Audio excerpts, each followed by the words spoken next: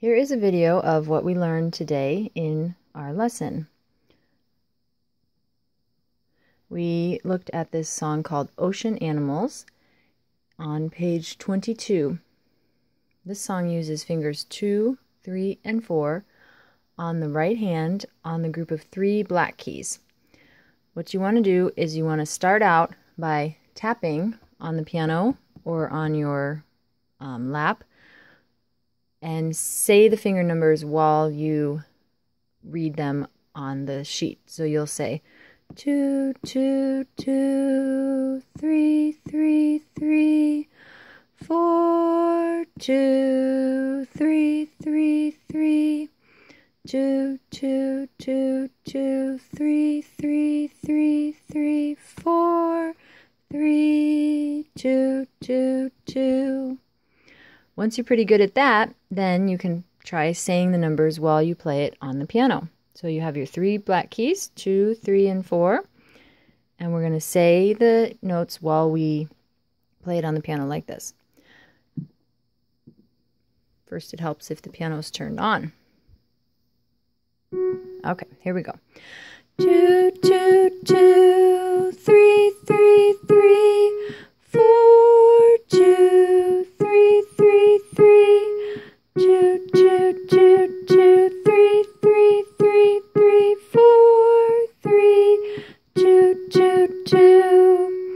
Then you want to try playing the song without saying the numbers out loud, but still read them on the page like this.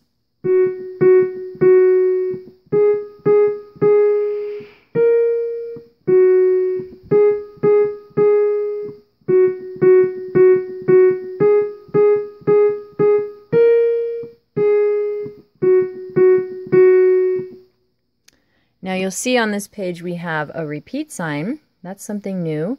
The repeat sign means you go back and you play the song another time. So you'd go back to the beginning and play the song again. In this song, you actually play it three times because it has three verses the verse about the octopus, the manatee, and the jellyfish. So that's the ocean animals song.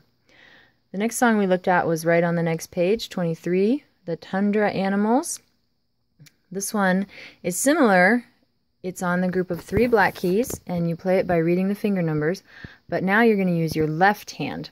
So we'll do the same process. We would read the finger numbers and sing along while you're tapping them on your lap or on the top of the piano. and then you would play the song while you're singing the finger numbers, and then you would play the song without singing the finger numbers. So I'll play it one time for you, singing it, so you can see how it's supposed to sound. Two, four, three, three, three, two, four, three, three, three, two, two, two, three, three, three, two, three, four, four, four. And again, there's a repeat sign at the end of the song. So you would go ahead and play that one. And again, it's three times because there's three verses for the song. The other thing that I wanted to show you, we learned the beginning of this song called I Love Coffee. You can listen to this on your CD. It's track six. And you can also watch a reminder video on the internet of how to play these parts. But we learned part two. We skipped the first page and we went on to part two. Part two uses your fist on the group of three black keys and it does what we call a roll and then a little bump over on the next part. So part two starts like this. It rolls up twice. Then it rolls down, and this time when you bump, it's going to bump down here on the group of two blacks like this. Then you roll up twice again. Now this song has an ending. Every section of the song ends with the same way.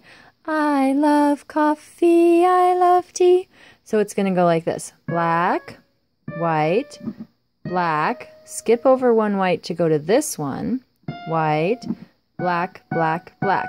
So that matches. I love coffee, I love tea. So we skip this one here. We don't play that one.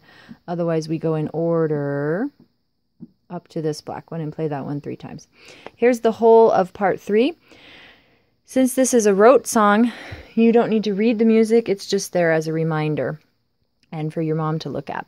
So here's how it goes it goes um, like this.